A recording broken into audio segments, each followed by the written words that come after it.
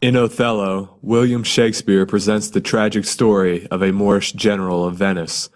Iago, Othello's ensign, is indignant about Othello promoting Cassio to lieutenant instead of him. To avenge this perceived offense, Iago deceives Othello, convincing him that Cassio slept with Othello's wife Desdemona. Consumed with jealousy, Othello kills Desdemona. Throughout this narrative, Shakespeare uses diction and metaphor to portray the dark and dangerous facet of love. When the play begins, the reader discovers that Othello and Desdemona have eloped. Desdemona's father, Brabantio, does not approve of her marriage to Othello. Learning about the secret and unapproved marriage, he angrily declares that Desdemona is abused, stolen from me, and corrupted by spells. In this outburst of passion, Shakespeare uses diction to subtly comment on the sorcerous power of love. Brabantio's claim evokes negative connotations associated with witchcraft and black magic. Indeed, it is commonplace to describe lovers as under one another's spell. Under the influence of a spell, a lover loses all control over his or her behavior.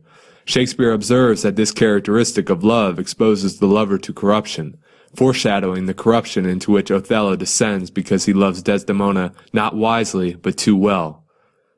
Later in the narrative, Iago performs the first step in his plot for revenge.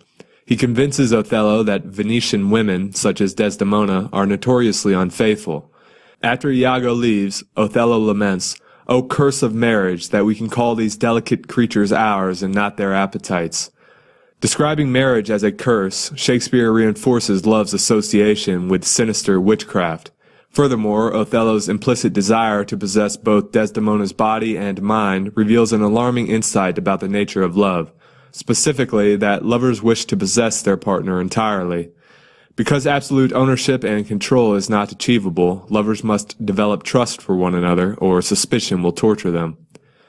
Approaching the climax of the drama, Othello tells Desdemona that he would tolerate all kinds of sores and shames, but he cannot endure the pain in his heart, the fountain from the which my current runs or else dries up.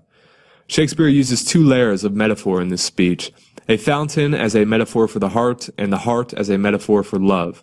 Positioning love within the heart is significant because the heart is a vital organ.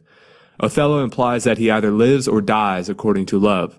In a literal sense, if the heart stops pumping blood like a fountain, then Othello's veins will dry up and he will die.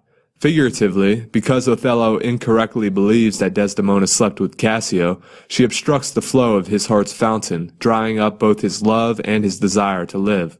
By likening love to a vital organ such as the heart, Shakespeare highlights the tremendous suffering which can arise when love is wounded. Before honest Iago deceives Othello, love intoxicates Othello to the point of euphoria.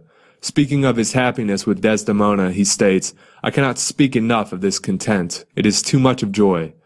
However, he cannot avoid the hazardous snares which love arranges for us all.